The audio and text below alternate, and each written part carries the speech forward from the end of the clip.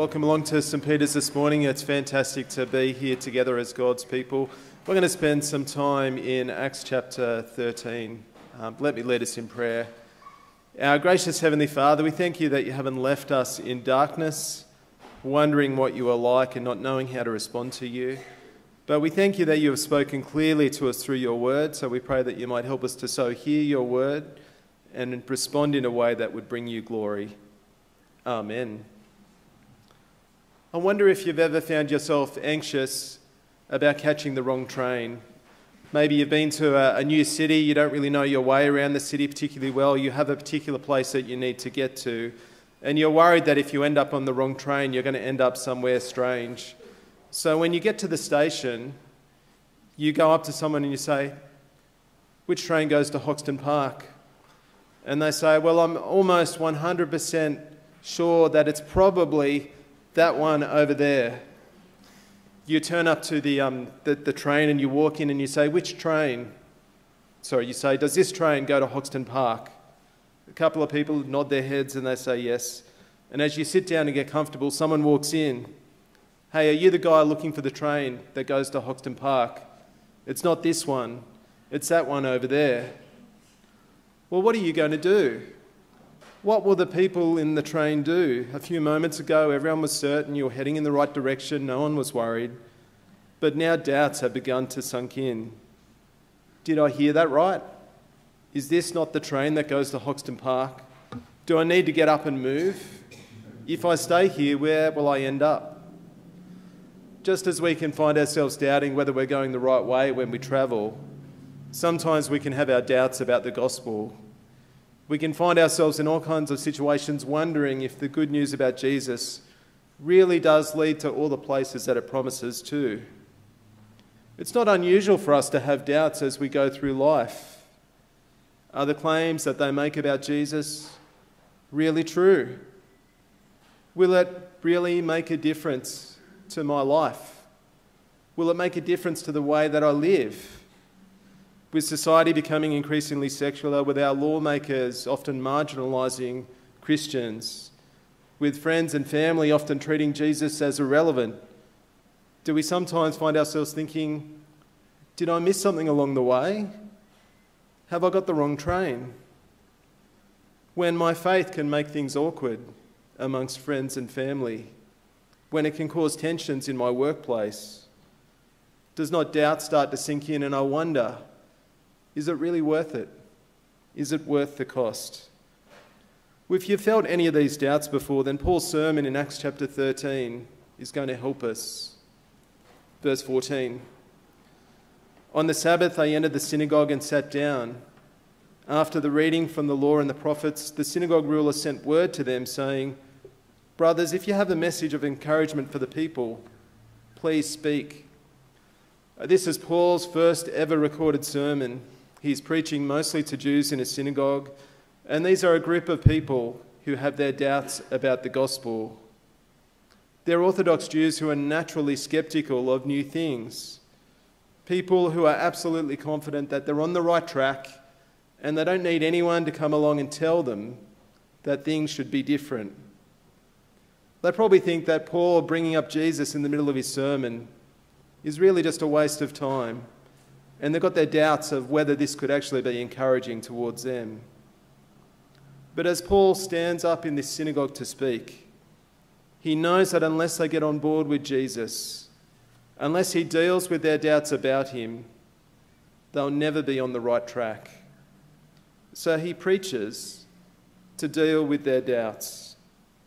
Um, we're going to work through this part of Acts, and, and we're going to work through it in a very simple way. We're going to work through verses 16 to 41 where we consider Paul's message. And then we're going to work through verses 42 to 52, where we consider the way that people react to it. Um, now, I don't know if Paul planned this when he, he delivered this sermon, but it breaks nice and neatly into three parts. Uh, in the first part, he speaks about the way Jesus fits in perfectly with Israel's history. In the second part, he focuses on Jesus' death and resurrection. And in the third part, he calls people to respond. Sounds like the perfect sermon. So let's, uh, let's get into the history stuff, the way that Jesus is the climax of Israel's salvation history. In verses 16 to 25, as Paul goes through this long history, beginning at the beginning and working through the Old Testament, you'll notice that God is the subject of every verb. Uh, let me just give it to you. God, God chose them. He made them prosper in Egypt. He led them out. He endured their conduct. They were pretty stubborn in the desert. He overthrew the nations around them. He gave them land. And after 450 years, he gave them Saul as a king. And when he didn't work out, he made David their king. God is the subject of every verb. And the point that Paul is making is that God is the one who takes the initiative in saving his people. But what the Jews who doubt really need to hear is that God's initiative doesn't stop with David, but finds its ultimate fulfillment in Jesus. Verse 23 From this man's descendants, God has brought to Israel the Saviour Jesus, as he promised. The synagogue may have their suspicions about Jesus. They may think that he's irrelevant. They may say, We've got David and his promises. What can Jesus possibly give us? But Paul is pointing out that Jesus is not irrelevant, but he's the one that the Old Testament is pointing to. For them to embrace Jesus is not to turn away from the promises of God, but to experience them in all their fullness. So, having introduced the Lord Jesus, who's consistent with their history, he then turns to the, the two big moments that change everything the death and the resurrection of Jesus. Verse 26 Brothers, children of Abraham, and you God fearing Gentiles, it is to us that this message of salvation has been sent. The people of Jerusalem and their rulers did not recognize Jesus, yet in condemning him, they fulfilled the words of the prophets that are read every day. Though they found no proper ground for a death sentence, they asked Pilate to have him executed. When they had carried out all that was written about him, they took him down from the tree and laid him in a tomb. Why does Paul say these words in the way that he says them? Well, he's doing what we call today apologetics. He is defending the faith against the objections that people will raise against it. Uh, the Jews are probably sitting there and they're thinking, uh, this Jesus guy, if, if he's going to be everything that Paul says that he is, then why did the leaders in Jerusalem reject him? If he really is our Saviour, like Paul thinks that he is, then why did he die on a cross? Everyone knows that crosses are just for criminals. And so Paul defends these objections, and time and time again in those verses, he says, Go back to the scriptures and read them. Because when you read the Old Testament scriptures, you'll see that the Saviour, the Messiah, would suffer and be rejected and die. It's interesting that Paul doesn't um, actually uh, quote um, Isaiah 53 or something like that. We might expect him to. Um, maybe Luke, as he, as he shortened the sermon down to fit in the book of Acts, didn't want to spend the ink, the ink on quoting the Old Testament. But it could be that he actually didn't quote the Old Testament because there's an even more convincing proof that's also backed up by the scriptures that will prove his point. Verse 30. But God raised him from the dead. And for many days he was seen by those who had travelled with him from Galilee to Jerusalem. They are now his witnesses to our people. We tell you good news. What God promised to our fathers, he has fulfilled for us, their children, by raising Jesus up. When I was a boy and someone at school made some amazing boast about some superhero talent that they had, um, we could never imagine small boys doing things like that. The answer was always the same prove it. Prove that you can do that. And it usually settled it because you couldn't prove that you could do these amazing things that you boasted about.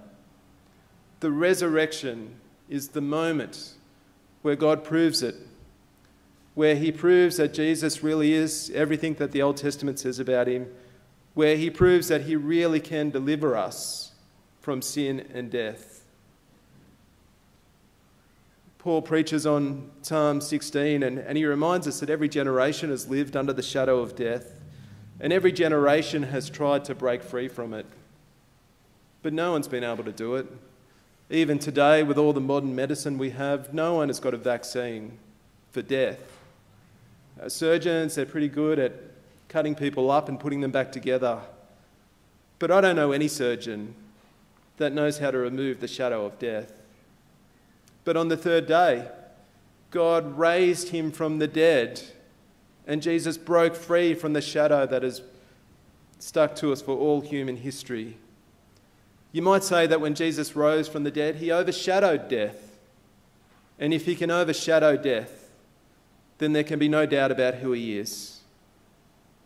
Paul is saying to these Jews that are doubting, doesn't the resurrection of Jesus prove that he really is the Saviour? So don't doubt, but turn to him. And we need to do the same, don't we? When doubts about the gospel crop up in our mind and we wonder if it really is true, we wonder if it really can change things, we turn to the resurrection of Jesus and we remember that that is where he proves it. Well, every good sermon, I've been told, calls people to respond, and, and Paul preaches here a very good sermon, calling people to respond because this is a matter of life and death. Verse 38 Therefore, my brothers, I want you to know that through Jesus, the forgiveness of sins is proclaimed to you. Through him, everyone who believes is justified from everything you could not be justified from by the law of Moses. Take care that what the prophets have said does not happen to you. Look, you scoffers, wonder and perish, for I'm going to do something in your days that you would never believe, even if someone told you. Paul says there are two trains at the station and you need to make a choice between them. One train leads to life, and the other train leads to destruction. If you get on board with Jesus, you will be forgiven because he justifies everyone who pins their hopes on him. He pays the penalty for our sins so that he might declare us righteous before God. And the law could never do that. You see, the law is very good at pointing out how far short we fall. It exposes our guilt, it can't make us righteous. But Jesus, dying in our place and rising from the dead, declares us righteous in the sight of God. He justifies us. He's the train that we need to be on. But Paul very simply says that those who scoff at him perish. He's asking the question which train are you on? Do you need to make a change? And they're not bad questions for us to consider. Which train are you on? Are you on the one with Jesus that leads to life? Or are you on the one that leads to death? So, Paul here, he's preaching to doubting Jews. He's trying to convince them that their doubts are unfounded, that Jesus is entirely consistent with their salvation history, that his resurrection proves that he really is the Saviour, and that they need to respond to him. How are they going to react to this message? Verse 42. As Paul and Barnabas were leaving the synagogue, the people invited them to speak further about these things on the next Sabbath. When the congregation was dismissed, many of the Jews and devout converts to Judaism followed Paul and Barnabas, who talked with them and urged them to continue in the grace of God. On the next Sabbath, almost the whole city gathered to hear the word of the Lord. Pretty amazing, the whole city come out. Uh, and you know what they come out to hear? The word of the Lord. Four times in the next 10 verses, Paul will speak, sorry, Luke will speak about the word of the Lord. And there's a connection there between the sermon that, that Paul preached last week and the word of the Lord. He's saying that the message about Jesus, the promised one, the one who died and rose again, the one who justifies those who believe, that message is the word of the Lord. Uh, the Old Testament was often called the word of the Lord.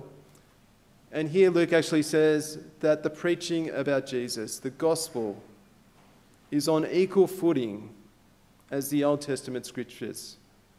It's God's authoritative truth, which means that it will always be true. The doubts that people have about Jesus do not make him less true. nor does a wholesale acceptance of him make him even more true. It's true because this is how God has acted in his Son for the salvation of the worlds.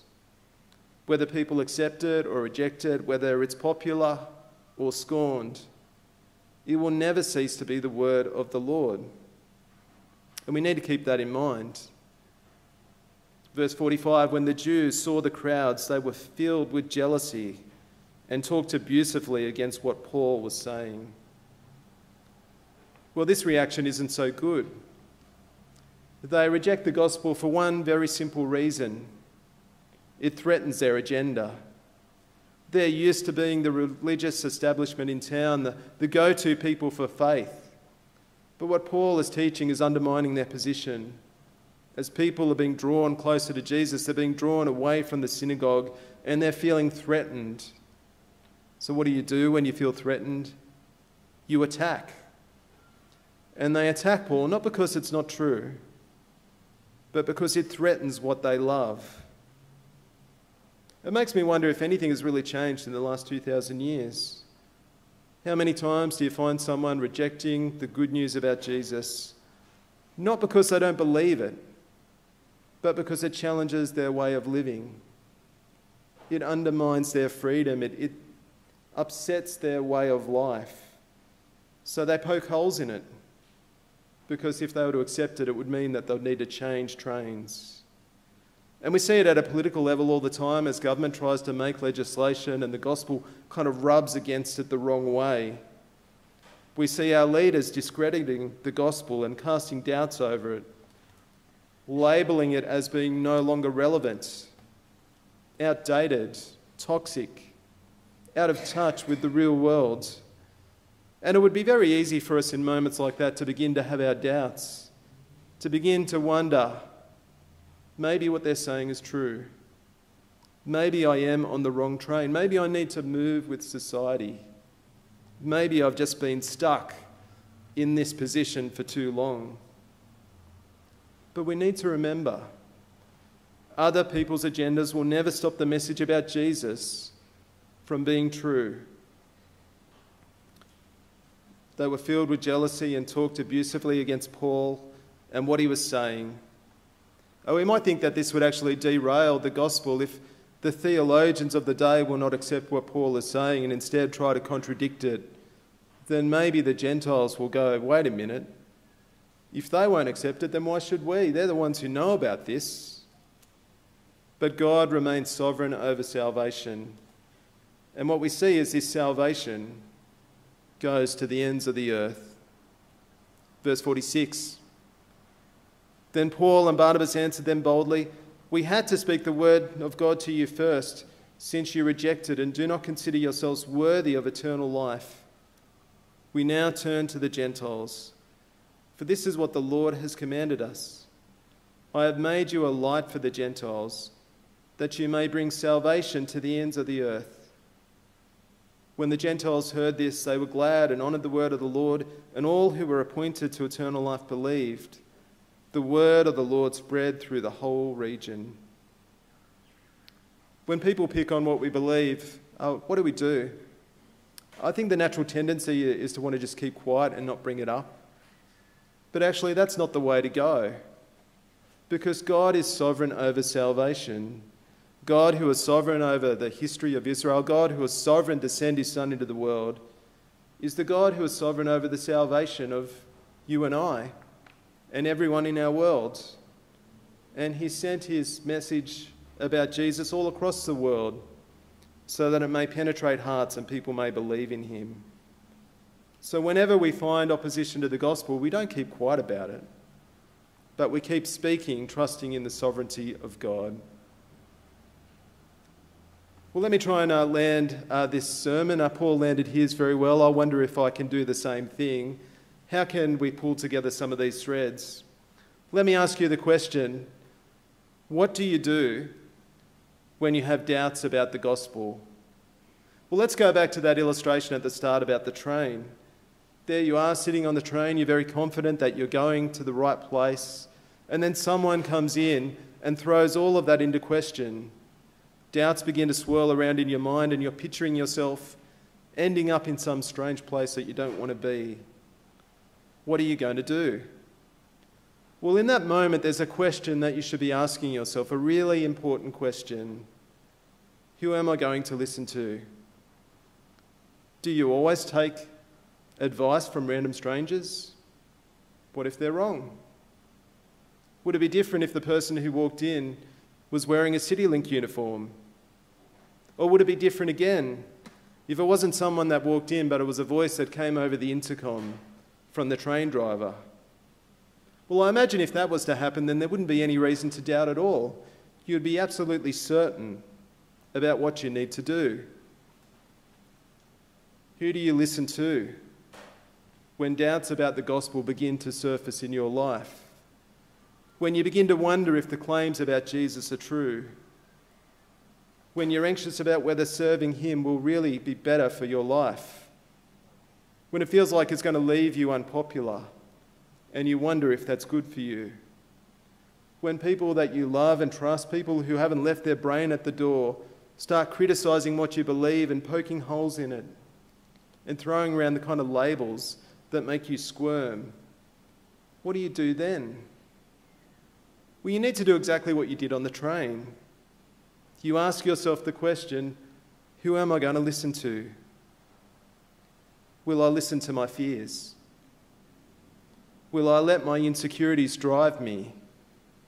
Will I let the unqualified opinions of others undermine what I believe? Or will I be someone who listens to the word of the Lord?